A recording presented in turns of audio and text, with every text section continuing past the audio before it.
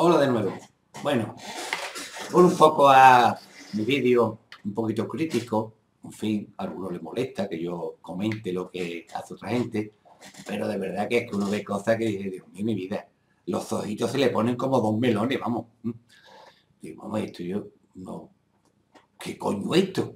Bueno, vengo, me vengo a referir al tema de, yo no sé qué concepto tiene alguno de la supervivencia, ¿eh? que parece estar, digamos, dedicándose a jugar a la guerra, ¿no? Es decir, eh, yo es verdad que, bueno, entiendo que haya gente que ha aprendido supervivencia dentro del ámbito del concepto militar, porque, bueno, se utiliza y que la han aprendido ahí, ya está. También entiendo que haya gente que son militares y que va al campo con ropa de faena, con la ropa militar que es la que tiene y la que le hace la bio. Lo veo normal. Lo que no veo normal es estos chavalitos jugando a, a Rambo en el campo, tío. Vamos a ver. ¿Qué coño sentido tiene irte hasta camuflado, pintado y todo. Yo que te vas con de los osos, de los indios que por ahí que están en pie de guerra, los conejos cabreados, de que te esconde carajote. Pero es que además encima es un riesgo bestial. Coño, te pones todo camuflado, vestido de camuflaje para acá, para allá, y yo como tengo un accidente, te van a encontrar por un palito. O sea, ahí, ahí, puteando bien el equipo de rescate. Vaya a hacer que te encuentre la primera, tío, vaya a hacer. Pues hijo, Almacántaro, estas técnicas de camuflaje, con camuflaje está en la nieve, que ya es la repolla, ¿eh? porque yo vestido blanco en la nieve, como tengo un problema, te va a encontrar mmm, de los churros. Esto es y totalmente en contra de los principios de supervivencia. El primer principio de supervivencia, para poder sobrevivir, es que te encuentren, coño, que te encuentren. ¿A qué jugamos? ¿Mm? ¿A camuflarnos para qué? Que me lo explique alguien, ¿para qué coño sirve esto de camuflarse? Porque es que esto flipa, como flipa, decir yo. Esto no sé, es que, que le gusta, yo qué sé, ese soldadito, yo mete a militar, carajote, y deja de hacer tanto por ahí, pintado como Rambo, eh, en pinar, coño, que lo único que puede hacer es darle un sustituto que esté cagando, ahí no pasa la cosa, ¿no? Que se cree que le han invadido algo. Yo, de verdad que es que a mí me descojona. Pero es que esto no, esto llega ya más. Hay algunos que se consideran que son la repolla de supervivencia, que es que los tíos hasta camuflan la tienda, tío. Esto es fundamental.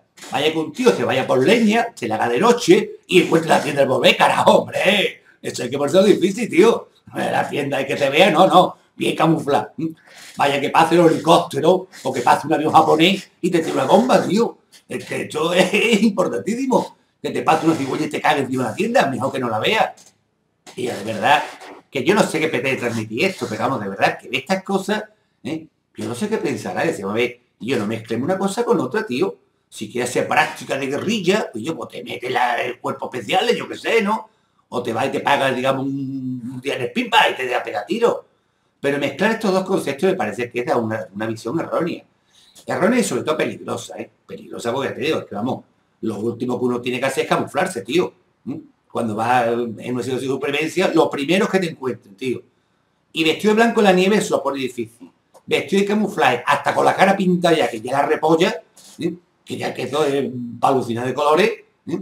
no sé, es que esta gente ha visto muchas películas de guerra, digo yo, ¿no? ¿Eh? Y se piensa que lo suyo me escondí como con él, ¿no? Vamos, aquí a alguno le falta hacer una trinchera, tío, porque lo demás tiene todo hecho. Y su de polla, una trinchera, dos morteros allí, tres ametralladoras, y vamos a hacer unas partes de violencia. De verdad. Esto, bueno, que para gusto los colores, de acuerdo, pero de verdad yo no sé ¿Qué pretende transmitir con esto? Eh? Es que no lo entiendo. Y menos entiendo que esta gente se consideren solo gurú de la supervivencia, la repolla de la supervivencia. Y yo, estas son fantasmadas, carajote, fantasmadas. Y ya, ya sé que esto no está bien decirlo, porque aquí, para que uno te considere guay en supervivencia, tiene que hacer la pelota a los famosos, a los famosos de, YouTube. A los que se creen la pantoja ahí en YouTube. Pues mire, no, yo me parece que las tonterías son tonterías, la haga quien la haga, tío. Y estas cosas son carajotas muy gordas, muy gordas, muy gordas, y peligrosa. ¿Mm? Hombre, vale que uno, yo que sé, que usa una chaqueta militar porque la tiene, pues muy bien, pero cuidado, tío, que no vamos a la guerra, ¿eh? Que es normal que un militar se tenga que porque es que pegan tiro. Pero que yo sepa aquí por el campo, por los pinares, por la playa, no te pegan tiro. Por lo menos en mi tierra, no sé si por allí por el norte, es que diga pegarle tiro a los que acampan, yo qué sé, ¿no? Y algunos se esconden. Eh, veamos, en fin. Que de luego vaya tela marinera, que vaya tela. Bueno, y esto no lo veo ahora en otro vídeo, que es que ya yo me he partido risa, digo, esto ya es la releche, ¿eh? un muñeco de goma en supervivencia. Tela, ahora lo haré el vídeo.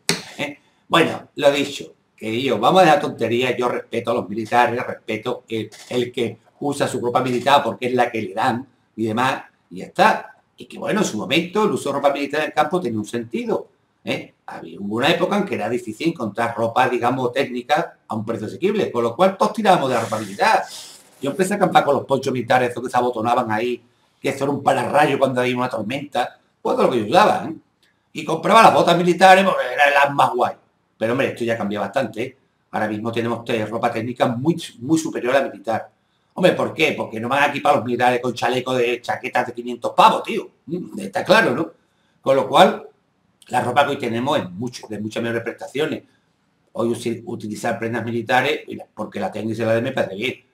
Pero porque sean mejores, no. No es mejor la, lo, que, lo, que, se está utilizando a niveles normales. Hombre, yo ahora de cuerpo de élite, yo sé, tío. Igual llevo una mira telescópica que la repolla.